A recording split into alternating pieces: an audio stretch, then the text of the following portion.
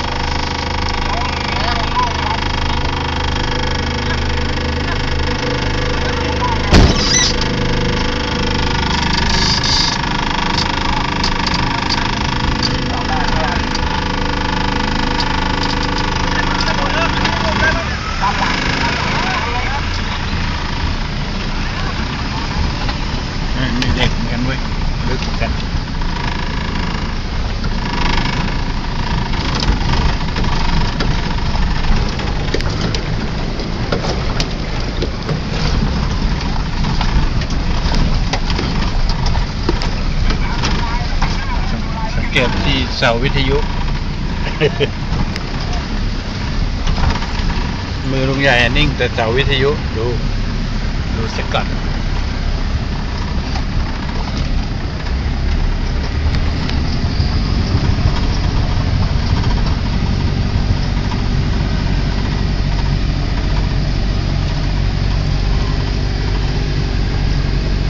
นี่รถชาวไร่ สวัส ดีครับโอ้เขาจะไปได้วิ่งเก่งสีขาว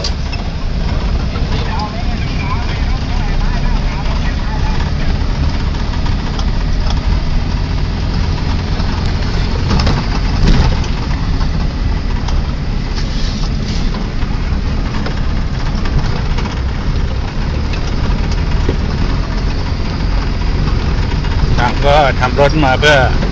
การข้ามน้ำ เจอไร่มะละกอข้างในนี่โอ้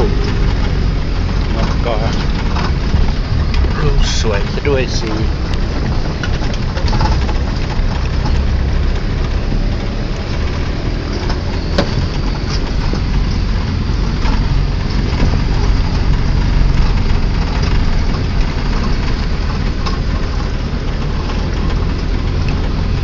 ใหญ่คิดทีแรกว่าจะเอามอเตอร์ไซค์มาเที่ยว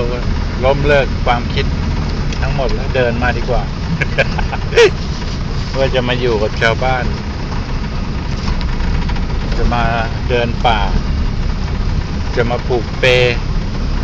เอามอเตอร์ไซค์มา ถ้าเอามอเตอร์ไซค์มาต้องเอาชาลีมา แล้วก็เอาไม้ไผ่มาหาม หามชาลีข้ามแม่น้ำน้ำลึกมาก น้ำลึกถึงเอวเลย รถแต่ละคันก็แต่งมาสู้น้ำกัน คันนี้ก็น้ำเข้าแล้วเนี่ยเข้าพื้นเล็กน้อยนี่ยยกสูงมากเนี่ยคือลุงใหญ่ไต่ขึ้นแทบไม่ได้ไต่ขึ้นไต่ลงยาก